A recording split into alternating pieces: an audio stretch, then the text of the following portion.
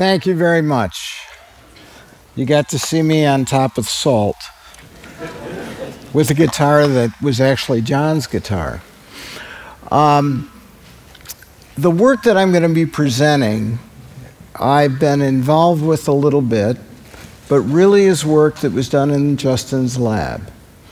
And uh, he has presented information about the anxiety study. He presented it yesterday.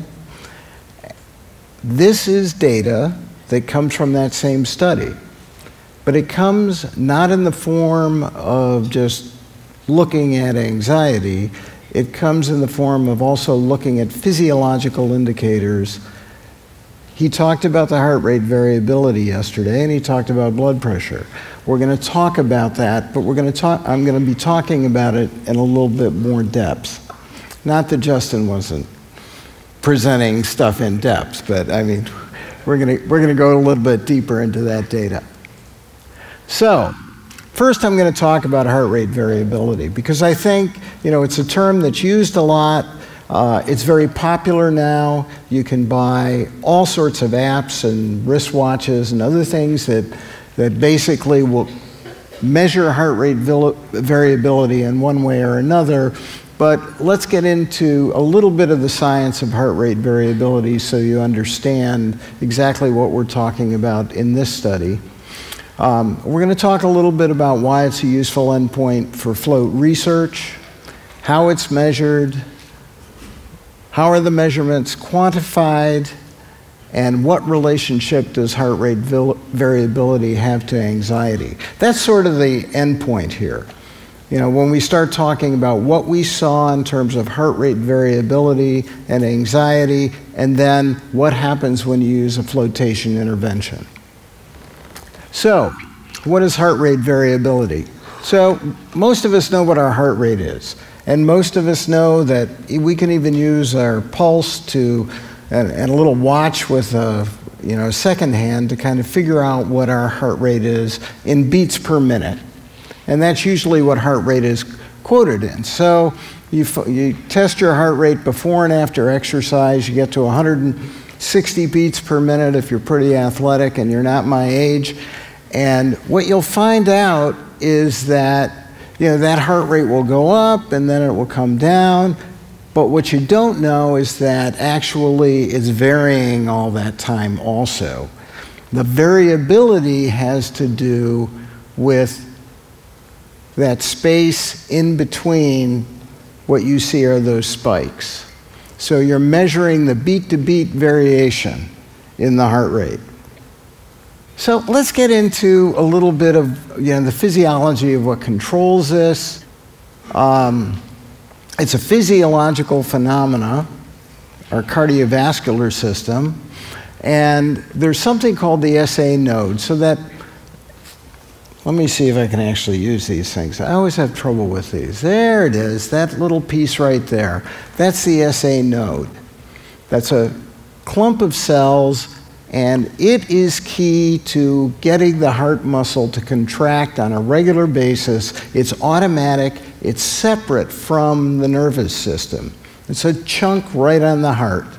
So, you know, if you were totally disconnected from your sympathetic, your parasympathetic nervous system, your heart would still beat, but it wouldn't vary much, which is not too good.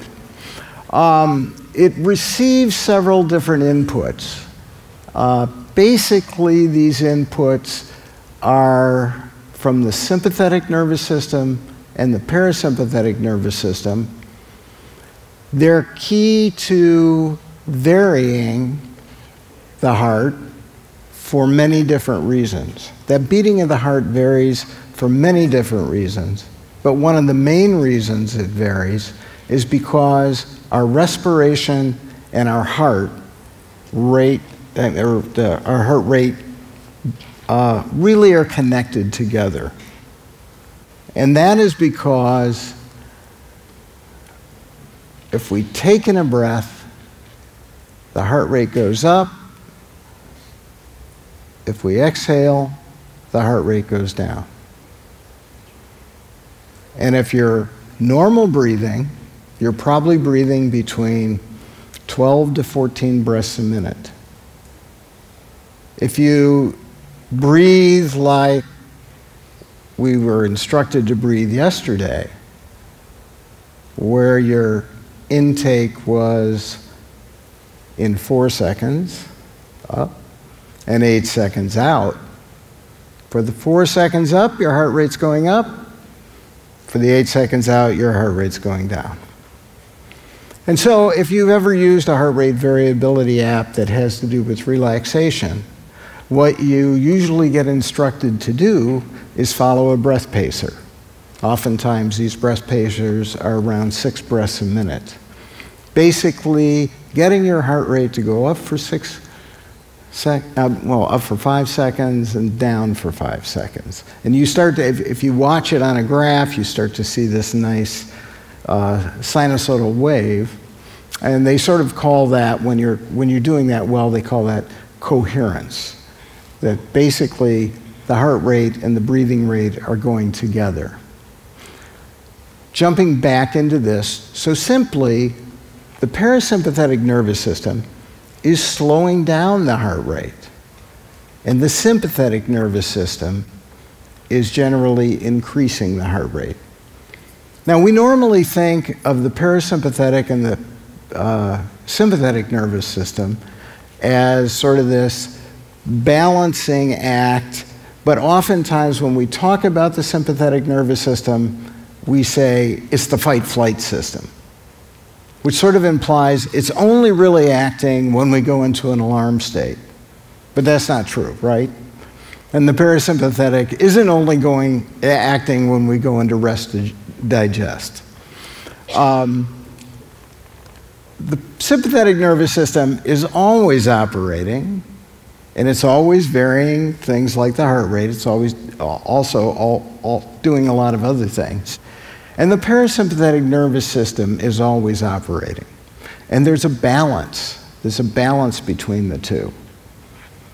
So when we think in terms of what happens during a period of stress, we tend to think of a sympathetic dominance.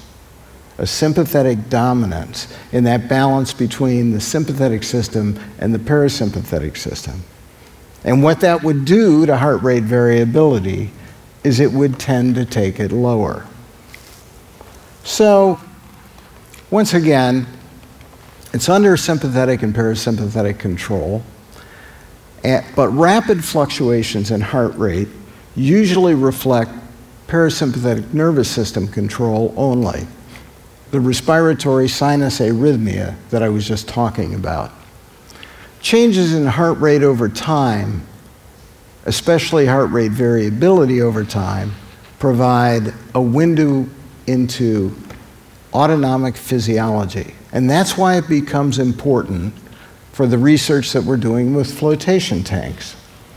When John was talking about a baselining, so one area of baselining that we believe occurs with floating is a baselining of the sympathetic parasympathetic balance in the physiology of the individual. And we believe that this is similar but different across individuals. Healthy individuals are probably going to be different than people with impaired cardiac systems and maybe different than people with anxious experiences. Because we feel that there is probably a connection between the experience of anxiety and the constancy of that experience and a shift in the sympathetic parasympathetic balance of the individual. So, analysis of heart rate variability quantifies these changes over time, and it becomes a reason for us to start looking at it. Now, I just want to show this so you can see what a normal heart waveform looks like. That's on the left side. And again, heart rate variability on the right side is measuring between these spikes, which are called R waves. Okay, the top thing is called an R wave. And in order to do this work to the level that you really can get this stuff published in high quality journals, you not only have to measure this, and the only way to measure that wave is with something called an EKG, you also have to have graduate students or research associates that will spend hours looking through and looking at those R waves and making sure they're normal, because sometimes they're not. And in heart rate variability, it only counts if you've got normal R waves, okay? So, um, how do we quantify heart rate variability? Uh, there's lots of ways to quantify it. I've only put two up here. Um, time domain is basically using some mathematics on a period of time on the numbers you have as you've measured the variability across it. So the first one is SDNN, which is a standard deviation of all those normal peak to peak intervals, okay? The other is RMSSD, which is actually the square root of the mean. Do I have to go on? Okay, between the differences between, okay, Okay. Um, this is all done by algorithms. We don't actually do these things by, you know, we, he has MATLAB, and I think MATLAB is what he used to do it. The frequency domain is a completely different thing. We don't normally think of heart rate being a frequency domain, um, at least sort of the average heart rate uh, person. So we, what we're really doing, there's a mathematical thing called a fast Fourier transform that you can do on, on this data that gives you different powers and different frequency areas.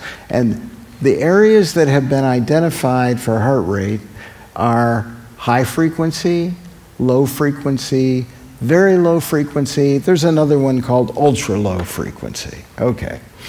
Um, but the high frequency, low frequency, and very low frequency are the ones that are most uh, popular in the literature and have had the, really have been explored the most as to what they mean. Um, high frequency band is considered a very good indication of the parasympathetic uh, nervous system influences on heart rate.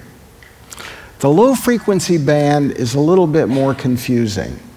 Uh, it, it sort of will show you something about the baroreceptors. These are receptors that we have all in our body that are key to blood pressure regulation.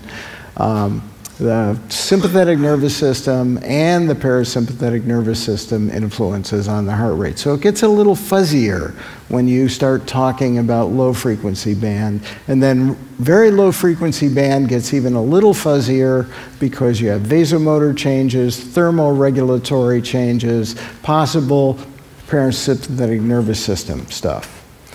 Um, so as you can see, that high frequency band seems to be the one that would give us the most information about this sympathetic parasympathetic possible balance. It also gives us most information about uh, what's actually happening physiologically if we're looking to see is the parasympathetic nervous system actually changing during the float. So what relationship might HRV have to anxiety? Now, recent meta analysis uh, found that one, looking at lots of studies, anxiety disorders are associated with significant re reductions in HRV. Panic disorder, PTSD, generalized anxiety disorder, and social anxiety disorder displayed significant reductions in both time domain and high frequency HRV. So it, clearly, the high frequency HRV is going to be something that would fit with the data that, and the group that Justin was looking at. Um, there was no effect really on low frequency HRV. So again, with that group, there was no expectation that we were going to see much with low frequency HRV. So that is the uh, tank, I think that was the open room. I shouldn't call it a tank. I'm sorry, I always have to call these things tanks. You saw our first tank. From then on, it's a tank, right? That was the open room flotation environment at LIBR uh, that was utilized in this study, correct? I, th- I, think it was utilized with all the anxious patients. They, um, and so you can see how easy it would be uh, to, for an anxiety uh, ridden person to sort of feel maybe comfortable in there. And also, uh, it, it probably makes it easier to use the wireless equipment only because there's nothing, there's no walls or anything interfering with where the signals are going. Um, we have a little past clinical research on floating and anxiety. We have past uncontrolled, basically clinical trials that have shown you know, uh, improvement on rating scales for people with generalized anxiety. We have um, a pilot trial in self-diagnosed generalized anxiety that was conducted in Sweden that also gave us uh, a set of subjects that had a number of re repeated float sessions, 12 sessions, and found significant reduction in the symptoms of generalized anxiety in the float group. And so these were good indications that we should see something. However, these were not studies that were done with basically people that were clearly diagnosed. Even, even the, the original Kula uh, studies, the diagnostics on that were not the same as what Justin was able to do.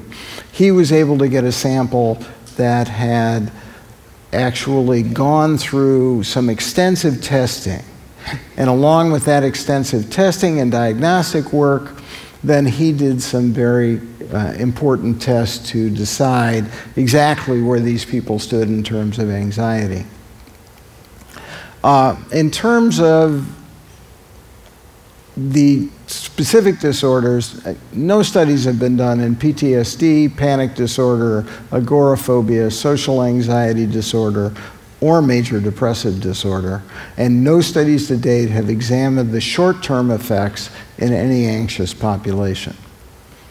So, in, with blood pressure and heart rate, you know, we had had studies in the old days where we looked at blood pressure and heart rate, but that was always pre post.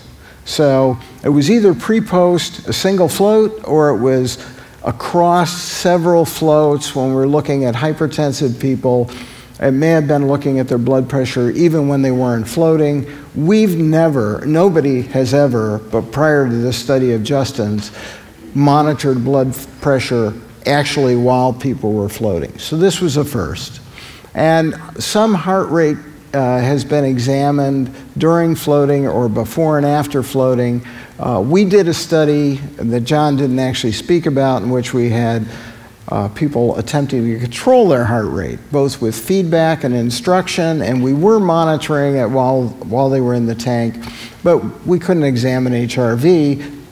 Basically, there were only a few people working in HRV back then. We didn't, we were not even aware of it.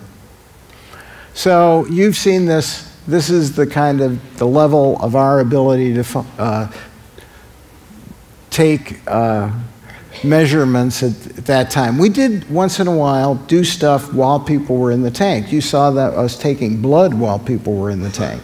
So we could do that, but we didn't have any remote sensors that were highly unobtrusive.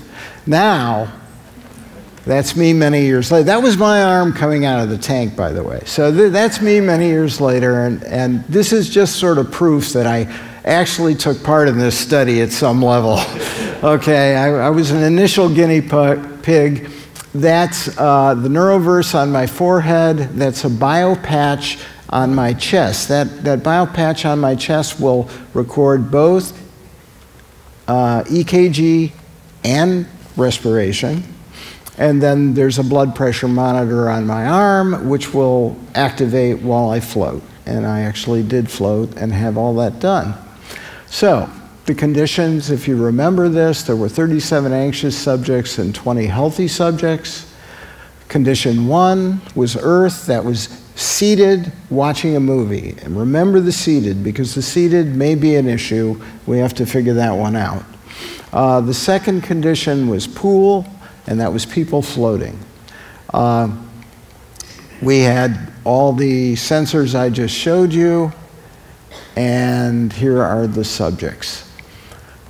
You can see that roughly in both a healthy sample and the anxious group, we had about two thirds not quite two thirds females and about a third male.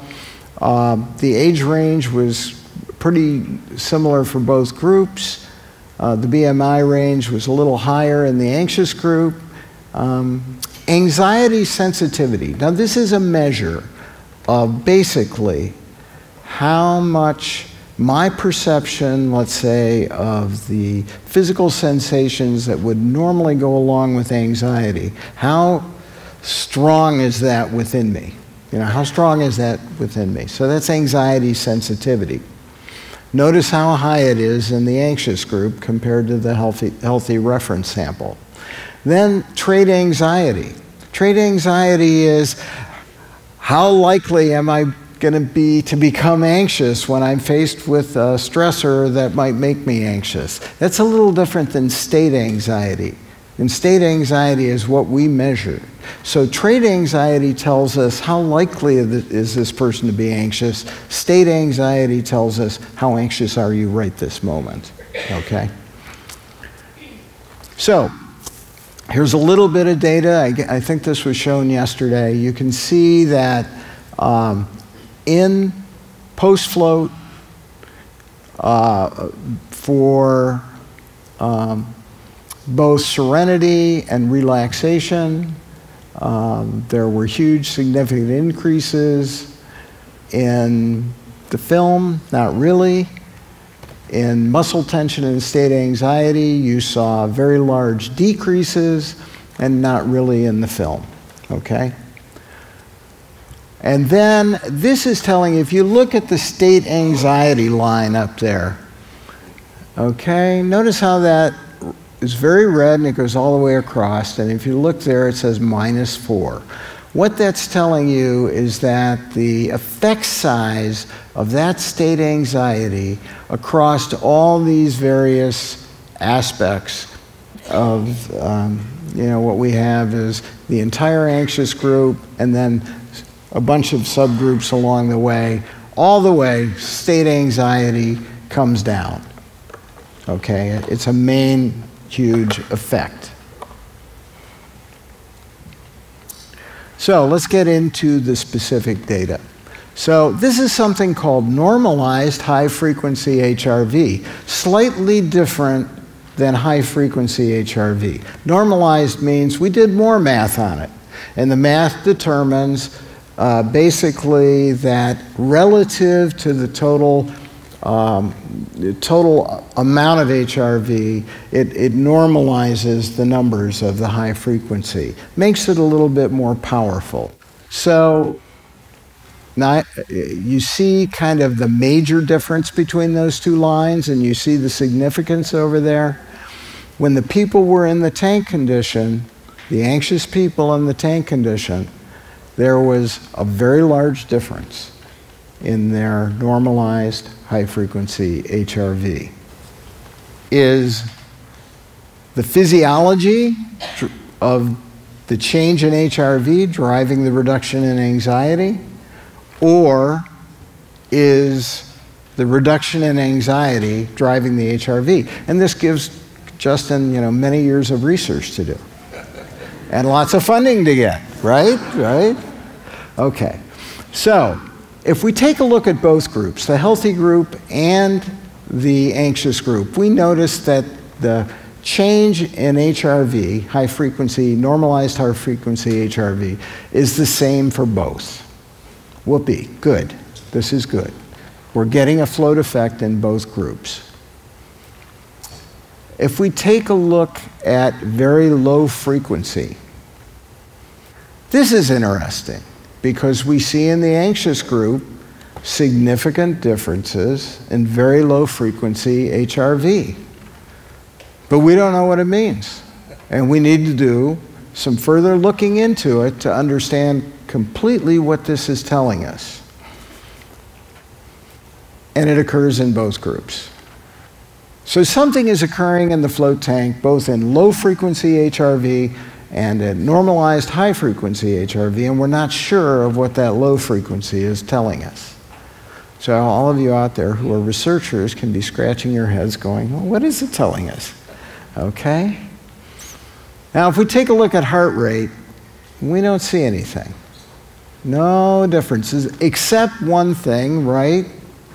We see that heart rate for the healthy people is lower than heart rate for the anxious people. So that's something we sort of expected. Gives us an idea that there's maybe a little bit difference in the sympathetic uh, balance there, but we don't see any changes across the float. Breathing rate for the anxious people, eh, a little bit, uh, yeah, it's significant. Doesn't seem to drop much, but there is a change. Ah, breathing rate changing, is that connected to the high frequency HRV change? Good question. Not much of a change, but it may be. Um, hmm, a little bit more of a change for the healthy controls, breathing rate. Again, is that connected to their high frequency HRV? We've got some looking at this stuff to, to really take a look at that. Systolic blood pressure, he showed some of this yesterday. That was significantly lower in the float condition for the anxious people. Um, same thing, not, not, quite, not quite as much for the non anxious, healthy people, but it was significant. And then huge change in diastolic blood pressure. Now, an interesting thing about systolic and diastolic blood pressure, it's not just driven by the parasympathetic nervous system. Um, in, in, it's, it's really driven by the force of the heart and the size of the tubes. And the tubes are our blood vessels, our arterioles. And what's going to happen in a float tank, because you're in 94 and a half degree water, is generally you're going to get a very nice vasodilation effect. Which so, you know, some of this could be just physically driven by that vasodilation effect, and some of it could be driven by the parasympathetic, uh, uh, parasympathetic nervous system getting a little stronger and putting a brake on the sympathetic. And so when we uh, look at the diastolic blood pressure for both groups, we, we see that. Both groups uh, did well. So, limitations. We had no, uh, we have single session data only, around one, one session. Um, and these are in fairly novice floaters, not totally novice. This was their second float, correct? And kind of a bigger limitation that we're both kicking around right now is that we don't have a supine control. People were seated in the film, they were laying down in the tank. And it appears that there may be an effect of just laying down on heart rate variability. So we've got to, we've got to tease that out. Um, we don't have much of a baseline in all of this. So, we see no differences in heart rate between float and film conditions, increased uh, normalized high frequency in both groups in float condition.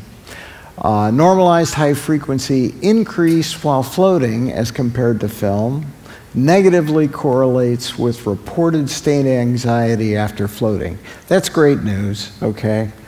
And then we get this very low frequency decreases in both groups in the float condition, and systolic and diastolic blood pressure decreases in both groups in the float condition. So, increased normalized high frequency HRV indicates increased parasympathetic output during the float affecting cardiac function. We feel pretty strongly about that one. The blood pressure decreases observed also indicate changes in cardiovascular dynamics during floating, uh, consistent with a parasympathetic response. And the greater the change in normalized high frequency HRV, the greater the change in reported anxiety when comparing float to film. What really excites me about the data is the physiology uh, is back, okay?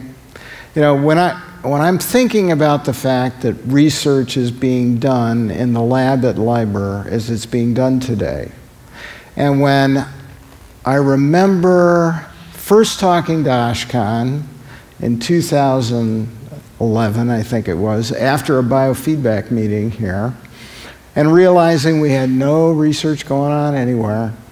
We had no conferences going on anywhere. And then in 2012 was the first conference. And then all of a sudden I hear about this guy, Justin Feinstein, who's a post grad, neuroscience. Yes, okay somebody who could really get this thing going again. And this is like 2013, and here we are in 2000, what year is it? 18?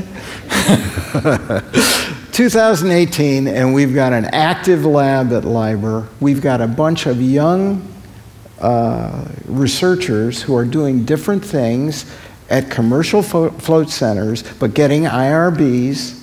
Okay, they're going to be able to publish the data we're really, we're really heading in the right direction. And so you go back, what John was talking about years ago. Justin, why don't you come up on stage? John, come on, Ashkan.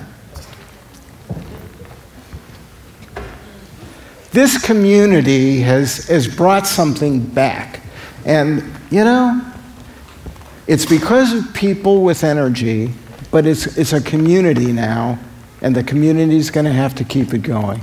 So that's the challenge for you, and be proud of what you've done to this point because it's the community that made this happen.